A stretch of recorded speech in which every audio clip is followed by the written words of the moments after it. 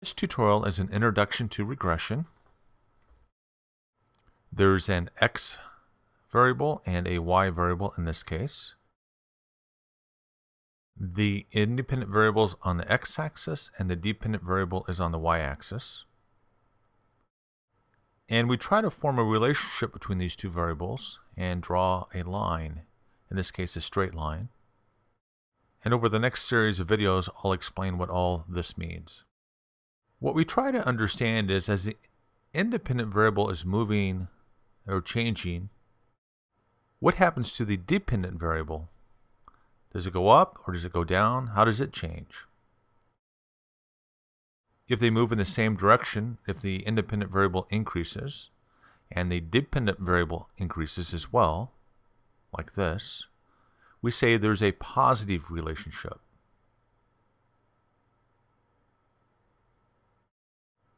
If on the other hand, as the independent variable increases and the dependent variable decreases like this, we say there's a negative relationship. The line would look like this, go downward. In linear regression, we try to make a line. A line to make a linear regression, the key is on line right there, a straight line. You can also do curved lines, but for the this topic, it's all straight lines.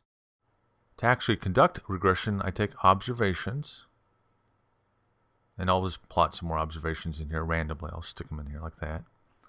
And I try to find a line that will fit, a straight line that fits to all these different points. And this is called my regression line. And it's based upon the least squares method.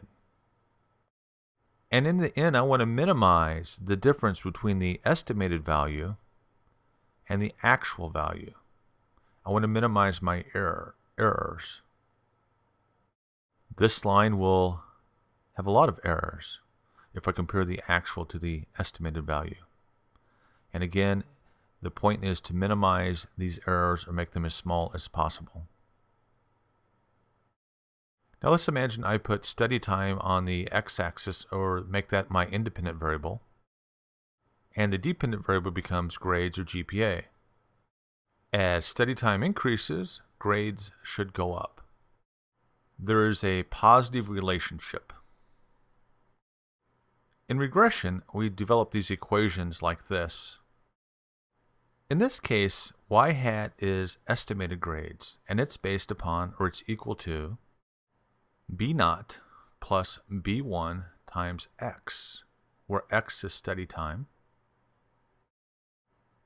b naught we derive mathematically, and it is the y-intercept. b1 we also derive mathematically, and I'll do it in a later video, and it's the slope of the line. In this case, the slope is positive. In the next video, I'll discuss how you develop these equations. Now, if I change the x-axis to time on Facebook, we see a negative relationship. More time on Facebook, grades will suffer and go down. A negative relationship. What we're estimating is still grades, estimated grades, is equal to b naught minus b1 times x, where x is time on Facebook. B naught is st still the y-intercept. The y-intercept. And it is a calculated value. The slope of the line is negative b1 because it's downward sloping, negative relationship. And as I said before, I'll show you how to calculate this equation in the next video. The x is the independent variable. The y is the dependent variable. The x is what we control, what we manipulate, what we change. And the dependent variable is the outcome. So study time is the independent variable. It's what we control and manipulate. And your grades are dependent upon how much you study. Now this looks really ugly and it's what I'll talk about in the next video. But I'll step you step by step through it and I'll hopefully make it simple for you.